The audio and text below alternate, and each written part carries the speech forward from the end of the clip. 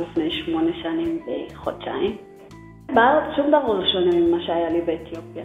כי גם שם גרתי בעיר, וכאילו הכל אותו דבר. זה לא כמו שמדמיינים, זה מדבר וזהו. יש בתים, יש מכוניות, יש בניינים, יש חנויות, יש הכל. ויש נעליים, יש לציין. בהתחלה כשבאתי בכלל, כשראיתי את המקום, אמרתי, איך אפשר ללמוד במקום הזה? כאילו, מה זה? כי איך שהתחלנו היה גשם, והיה שיטפונות, וקר, אין חימום. ואמרתי, טוב. ואחרי זה התחלתי להיכנס לזה. ועכשיו אני בת שירות, אז קיבלתי דירת שירות בקריית יובל. אנחנו שש בנות בדירה, ועכשיו אני עושה את השירות לאומי שם.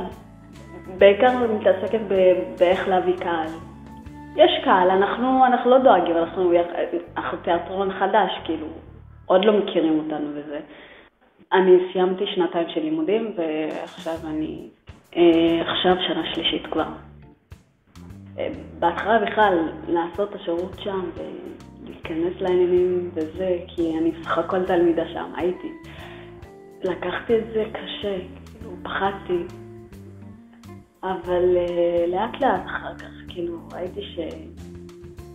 אנחנו בכלל, זה תיאטרון מיוחד, כאילו, כולם זה כמו משפחה, חגי המנהל וכל הצוות. וכיף גם להיות דוגמה בשביל התלמידים החדשים שבאים.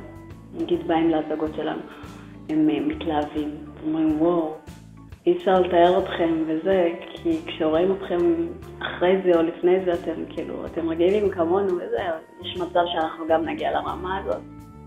אני רוצה שיבואו הרבה אנשים להופעות שלנו, כי אנחנו שחקנים מיוחדים בינינו, אה, ושאנשים ייהנו. לא, לא בכל מקום יש תיאטרון של נוער שהוא כל כך משקיע. אצלנו בהצגות יש מסר.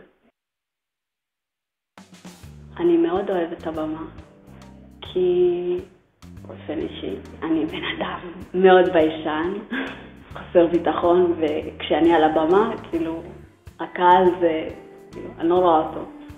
אז ברגע שיש לי את ההזדמנות לעלות על הבמה, אני, אני מרגישה שאני יכולה לדבר, להוציא את מה שאני לא עושה ביום.